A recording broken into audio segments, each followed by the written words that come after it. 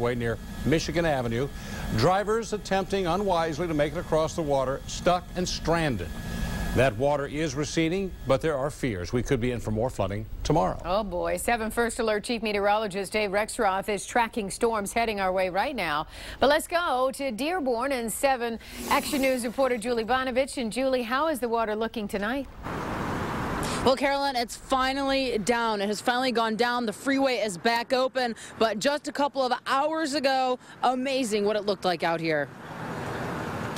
Vehicles stalled and stranded in water after the Southfield freeway floods. People who were stuck called friends like Muhammad Ayub for help. Nobody could get to him, and if I could get to him, try my best. But Muhammad couldn't get to his buddy because of this. When he tried to drive down Village Road, the closest point to his friend, he found it flooded for a quarter mile. This is the furthest I got right here.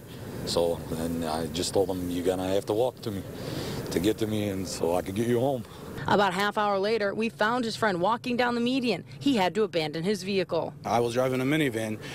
All the cars made it except mine. When I got stuck, another car got stuck on the right of me, and then there was another car, a third car that was floating around in the water.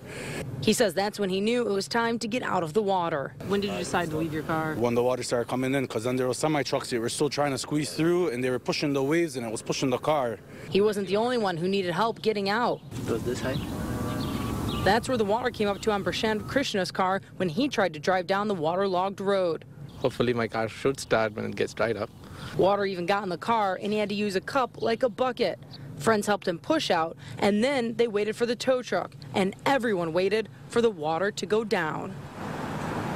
And the tow truck's coming for some of those cars, not until 9 o'clock, so just a few hours ago.